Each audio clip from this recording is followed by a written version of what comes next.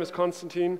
Uh, I work for Axel Springer Plug and Play. We are an early stage startup accelerator in Berlin. And today I'd like to talk, um, to talk about Berlin as a startup ecosystem and why, it's, uh, why it's, uh, it is a great place for you um, uh, to start your business there. So 30 years ago, Berlin was a separated city. And it had been separated at the time for almost 40 years. The East belonged to the socialist part of Germany, ruled by an authoritarian regime, and the West was more like a, yeah, well, like, a, like an island surrounded by the class enemy. So, as you can imagine, this was no place for great ideas. This was no place to, I don't know, think of, a, um, think of the future, have dream big, and, and, and start a business. That was actually no place for entrepreneurs. And even today, this separation can be observed in the city and can be observed in the statistics. So, last year, a large German newspaper, um, Die Welt, um, they titled, Without Berlin, Germany would be better off. And they referred to the fact that uh, the per capita income in Germany ranked 11 out of 16 German regions, which is super unusual for a large, um, for a large uh, capital city in a, Western, uh, in a Western country. Out of the 50th largest uh, German corporates in terms of revenue, only two have their headquarters in Berlin. One is Deutsche Bahn, they are owned by the state, and uh, operate the German railway, and the other one is a subsidiary of, of, of Daimler, um, and they um, rank um, 45 in national comparison if you look at the largest uh, German corporates. So none of these have their headquarters in Berlin. So 2003, so almost um, yes, quite, quite a while ago, um, the former uh, mayor of Berlin, Klaus Wowereit, said something that later would become like the unofficial slogan, uh, unofficial slogan of the city. He said, Berlin is poor, but it's sexy. So, as we all know, being sexy once in a while is quite cool. It doesn't pay your bills. So, the important question actually if, is, if, if, if we look at, at, at this situation is, okay, why should anybody actually start their business in Berlin? Yeah? So 1989, the, uh, the wall fell.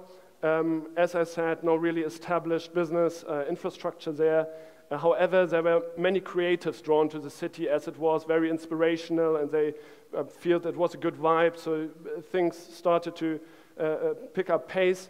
And um, these creatives opened businesses um, many in the media, uh, um, in the media industry, advertising uh, agencies, and then with the emergence of the internet, more and more web agencies, um, IT uh, consultancies, and then um, in the late 90s, um, the first uh, digital businesses uh, were established in Berlin, those kind of businesses that we today refer to as startups. And one example um, is actually uh, the company that my colleague Jörg Rheinboldt started 1999. It's called, uh, it was called Alando and sold to eBay after half a year. And um, since then, actually, Berlin has become a boomtown for digital businesses. Um, and, and, and, and, digital business models. So uh, quite uh, some, some examples that you guys probably know um, that started in Berlin um, are success stories such as SoundCloud, Zalando, and um, N26. And um, these kind of companies, they have really put Berlin on a map for international investors. So for the past 10 years, more and more international investors covering all the stages of the, of the um, startup life cycles have moved to Berlin, have um, opened offices there. So by now, Berlin has a very successful infrastructure um, of, funding and financing for, um, for startups. And that again then has led to more and more entrepreneurs making a move to the city and uh, starting their, their startups there. So today it's really, Berlin is the fastest growing startup hub in Germany and it's a city with the highest, uh, with the highest founder, founder ratio in Germany. And one reason for that also is, um, especially since uh, one year ago, uh, the, the um, Brexit vote um, more and more, uh, uh, Berlin is basically the single gateway to the European, uh, to the single European uh, market. And the great thing really is that not only um, not only founders from other parts of Germany moved to Berlin, but really from all over the world. So 43% of the, um, of the founders that come to Berlin uh, come from outside of Germany, and um, well, it's, super, it's just a super international ecosystem. And as I just said, the um, access to the single European market um, is especially after a year ago um, another reason for, for companies to start in Berlin. So if you're um, a digital entrepreneur or have a startup in a, with a digital business model, so to say, um, and you want to have access to the largest European market, then Berlin really uh, today is uh, the place to be for you. And I just want to give you some numbers to kind of um, underline this. So um, approximately uh, 10 startups are being started every week in in Berlin. And every fifth of uh, the startups in Berlin generates revenues of more than a million euro a year. There are 42,000 people working only in the tech sector in, in Berlin. And um, there are 2,500 startups approximately that are based in the city. I already mentioned some examples, and I uh, want to, want to talk, talk about these as well um, of successful companies started as startups in Berlin. So one that comes to mind, of course, is Zalando. Uh, fashion e-commerce started nine years ago. Um, incredible, incredible growth. So last year, 3.6 billion euros in revenue by, uh, by Zalando. And um, another company I already mentioned, N26, um, they're an online bank account, fintech startup, um, started four years ago, actually went through our accelerator, so we invested in them. And um, today they are the fastest growing uh, fintech in, Euro, uh, in Europe and um, have raised 40 million in um, Series B financing last year. Um, another uh, company that probably most of you know, a Delivery Hero, um, raised more than 1.3 uh, billion US dollars in funding until today, and just announced that they're going to uh, go public very soon. And last but not least, a SoundCloud, a huge music platform, uh, incredible in, in, um, in, terms of traction, in terms of user traction. So they've, um, they have 175 million monthly active users. So that's, uh, that's just insane. And again, another, another example of, of companies that started, um, that started in Berlin. so there's, an, um, there's actually an international study that compares and ranks different startup ecosystems in the world. And it's called um, the Global Startup Ecosystem Report. And this year's report um, compared and examined actually 45 international startup ecosystems, of which um, uh, Berlin ranked, um, ranked seventh. So first was, uh, I mean, no, no surprise, was um, Silicon Valley, second New York, third uh, London, and in comparison with other um, European ecosystems, Berlin ranked, uh, ranked second. And one metric um, where Berlin scored particularly well is the global resource attraction rate. So Berlin was actually second place there, only topped by Silicon Valley by 3%. And this metric measures the ability to attract highly talented, um, uh, highly talented, highly, highly quality talent from, uh, from across the world. And now, if we, if we look at it and see, okay, well, historically Berlin has, uh, Berlin's economy hasn't been uh, the strongest in Germany, but tech and startups are booming, more and more people are making a move to the city, uh, are going there, uh, one question that really arises is, okay, well, what is actually Berlin's secret sauce? Yeah? And um, one reason, uh, or one, one ingredient of the secret sauce definitely is, um, uh, is the affordable rental prices. So commercial real estate in Berlin is a fifth of the cost what you would pay for office in London, for, uh, for example and um, um, apartment rents are uh, about 60% lower. Another ingredient of the secret sauce is um, a very high visa acceptance rate. So um, people coming from uh, outside, uh, outside the EU and that want to start their business in, uh, in, in, in, Germany, um, they face a visa acceptance rate of 77%, which is the third highest in, uh, in, in, the world. And the best thing is that the um, that the acceptance time for visas is also incredibly low. So first of all, the probability that you get a visa is pretty high, and then if you don't get it, at least you know, uh, you know it pretty early. So I guess that's a good thing. Um, another thing is access to corporates. So I talked about it. Um, not many, not many corporates have their headquarters in Berlin. However, um, for the past years, more and more have opened innovation hubs there to, to, to partner and pilot with, with startups and be exposed to the startup ecosystem. So as, um, let's say, B2B startup that want to uh, close your first, um, your first customer, uh, a large corporate, um, um, it's, it's, it's um, through these innovation hubs, you have the chance to really get in touch with the right people who are eager to, yeah, to, to partner with you and also corporate, corporate uh, venture capitalists, most of them, uh, like most of the corporates who have a venture capitalist vehicle, um, they do have their, their um, base in Berlin, or at least people uh, on the ground in Berlin. Um, uh, I already said Berlin is super international and diverse. And um, yeah, well, 43% of, that, of, of, of, the founders come, um, come, come from abroad. And the good thing is that Berlin really is the only city probably where you can get around with only, only speaking, speaking English without knowing a word of German. So this is also uh, remarkable about, um, about Berlin. And um, now for those of you uh, who say, well, I, I, I don't on, only want to, want, to, want to work hard, I also want to play hard, I have uh, great news. Berlin has uh, definitely some of the best clubs in the world, and let's face it, a night out once in a while um, um, helps you focus um, like, like nothing else. So I talked about it, um, or we talked about the opportunities that uh, Berlin offers. Um, it's enough successful startups, um, relevant investors, and innovation-hungry corporates. And we've also talked about a friendly environment in general. So good value for money, you don't have to pay, pay insane prices for uh, rent, for groceries, um, for, for, eating, for eating out. Um, you also don't have to commute for hours. So in Berlin, you pr probably get from, from A to B in 30 to 40 minutes, is, I mean, compared to Cluj, it's bad. But if you compare it to, to London or, or Paris, then this is definitely, this is definitely uh, uh, better.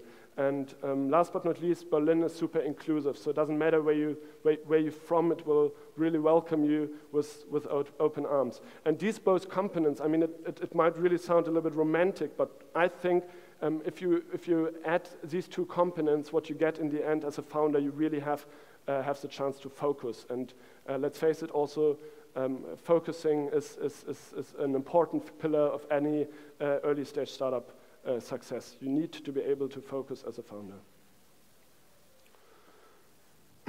so now you say, okay, cool. I, have heard all this, uh, all this nice stuff about Berlin. There, all the, all the um, investors I want to meet. There are corporates, but what do I do? I, I just move there, and, and, and how do I meet, it, meet them? Where do I meet them? Wouldn't it be cool if there was like this one place where you have them all under one roof and you can just, I mean, talk to the right people at the right time? So I have good news for you again. Uh, this place does exist. Um, it's called Axel Springer Plug and Play. And um, what we do is we invest very early in digital, in digital startups. We are a joint venture between Axel Springer, um, the big, um, it's actually the largest um, European uh, digital publisher, and the Plug and Play Tech Center, who are an early stage investor from the Silicon Valley. Uh, they have invested in uh, early, um, early round, rounds in, in, PayPal and Dropbox uh, and Lending Club. And um, we look for, for, digital, um, for digital business models, scalable, innovative, and um, if we um, uh, if we invest, or other, the other way around, the decision to invest in, in these companies is always driven by, okay, can we provide value to the company? Can we really accelerate them? Do we know the right people in our network to provide them with the right short, shortcuts at the right time so that in the end the company yeah, is just more successful than it would be without, than it, uh, would be without us. And like any other accelerator as well, we do have a um, standardized deal, which is 25,000 euro for 5% equity.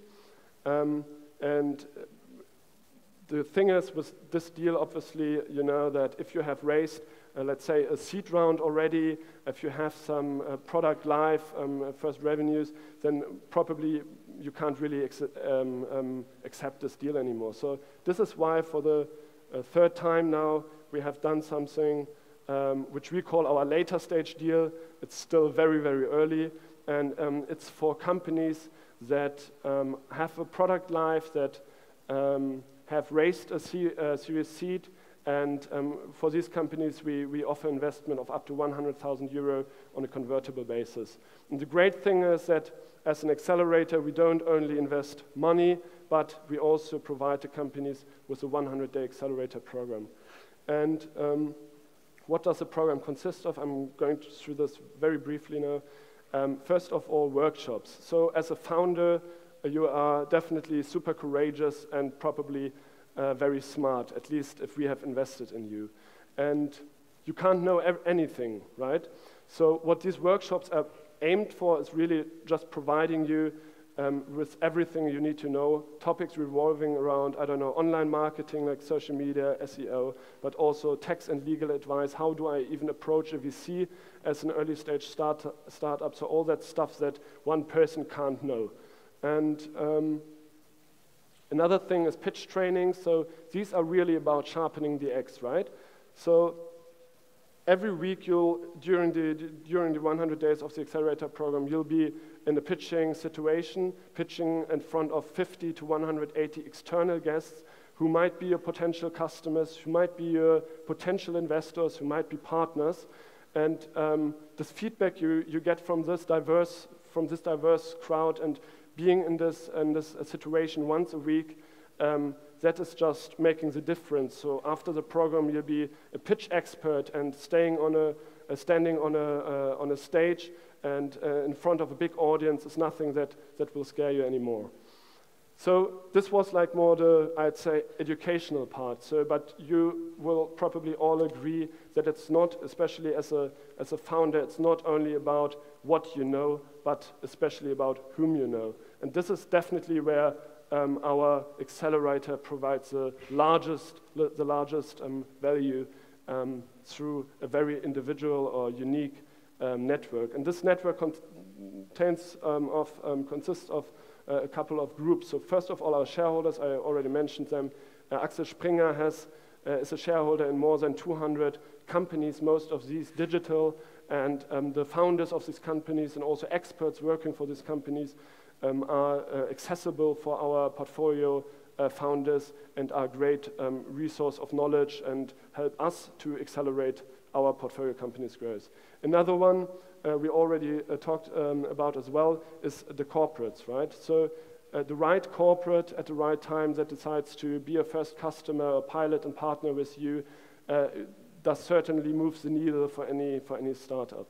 So what we've done is, for instance, we've partnered with the Deutsche Bank, so one of the largest banks in the world, um, and they want to, want to pilot with our, uh, with our startups and find potentially um, potentially also, also startups in the later stages that they could invest in. And also this is an awesome opportunity for any founder to be able to talk to like really senior executives in, in this um, organization who have are eager to, to um, um, uh, realize, uh, uh, let's say, a pilot, um, and uh, by that really um, adds, adds, adds value.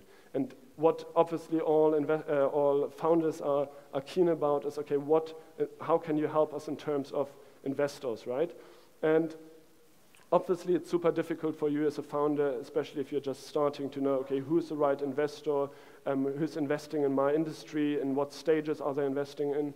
And as we have done this for quite a while now and know basically all the uh, relevant investors in Europe uh, and also in the US mainly, um, we are there to tell you, okay, um, talk to this uh, investor or to, to, to, to another one um, at, at, at, this uh, point of time or wait for, um, wait for a little bit longer.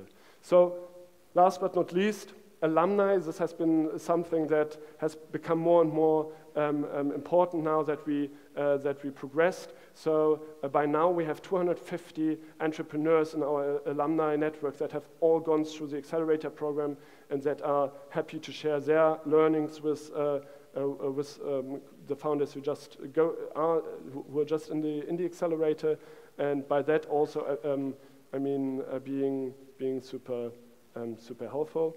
And in the end of the accelerator, after the 100 days, there's a demo day. You're probably familiar with this concept. So um, founders pitch uh, in front of around about 200 investors what they've achieved over the past 100 days, and on that basis, aim to um, secure follow-on financing.